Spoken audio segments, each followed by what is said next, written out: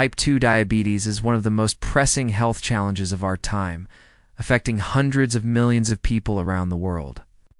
It's a condition marked by the body's resistance to insulin, leading to chronically high blood sugar levels. That can cause everything from nerve damage to heart disease if left unmanaged.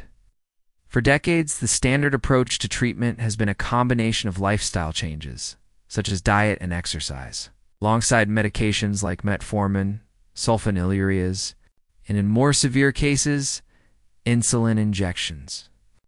But in recent years, a new drug has taken the spotlight not just for managing blood sugar, but for the possibility that it could reverse the course of type 2 diabetes itself. That drug is Ozempic, a GLP-1 receptor agonist originally developed. To treat diabetes, but now just as famous for its unexpected side effect dramatic weight loss. The question on everyone's mind is this. Can Ozempic actually reverse type 2 diabetes? Or is it simply another powerful management tool in disguise?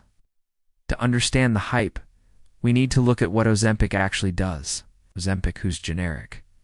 Name is semaglutide, mimics a natural hormone in the body known as GLP-1, or glucagon-like peptide 1. This hormone plays a crucial role in regulating blood sugar levels. It stimulates insulin production when glucose is present, suppresses the release of glucagon, which otherwise raises blood sugar and slows down how quickly food leaves the stomach, keeping people fuller for longer so the result is not just better blood sugar control, but also significant weight loss. Clinical studies have shown that patients on Ozempic can lose an average of 10 to 15% of their body weight, which is remarkable considering that excess body weight is one of the leading drivers of type 2 diabetes.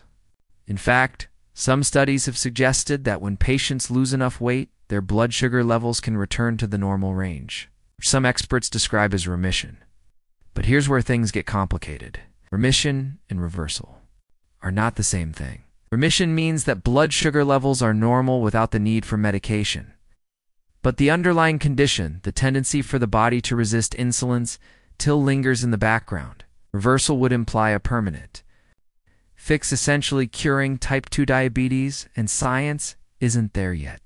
For example, in a pivotal study published in the New England Journal of Medicine, Patients with type 2 diabetes who took semaglutide for 68 weeks not only lost weight, but many achieved blood sugar levels in the normal range without requiring additional medication. However, when they stopped taking Ozempic, the benefits began to fade. Their blood sugar levels started to rise again, and in most cases, weight slowly crept back. This highlights a critical point. Ozempic may help push diabetes into remission, but it doesn't eliminate the disease. Once the drug is stopped, the underlying metabolic issues often return. Despite this limitation, the impact of Ozempic cannot be overstated. For decades, people with type 2 diabetes have struggled with treatment regimens that manage symptoms but don't address the root cause. With Ozempic, there's a pathway that actually changes the trajectory of the disease, at least for as long. As the medication is continued by promoting weight loss and improving insulin sensitivity, Ozempic tackles two of the biggest drivers of diabetes head on. This is why so many doctors and researchers are calling it a game changer. It's also why demand for the drug has exploded, not only among diabetes patients, but also among people seeking weight loss solutions, sparking debates about supply shortages and whether the drug is being used responsibly. Another dimension, to, Consider is how Ozempic compares with other interventions. We know from research that bariatric surgery, such as gastric bypass, can put type 2 diabetes into long-term remission for many patients, sometimes for years. The mechanism is similar. Massive sustained weight loss improves insulin sensitivity and restores glucose control. But surgery is invasive, risky, and not an option for everyone. Ozempic offers a non-surgical alternative that achieves some of the same benefits, though typically to a lesser degree. What's more, the side effect profile of Ozempic includes nausea, vomiting, and gastrointestinal discomfort, which can be difficult for some patients to tolerate. There have also been concerns about rare risks, such as pancreatitis, and possible links to thyroid cancer. Though the data on long-term risks is still being gathered, so can Ozempic truly reverse type 2 diabetes? The most accurate answer is no it. Doesn't reverse the disease in the sense of curing it forever. What it can do, however, is induce remission for as long as the treatment continues. It's like hitting the pause button on diabetes, giving patients a chance to live healthier.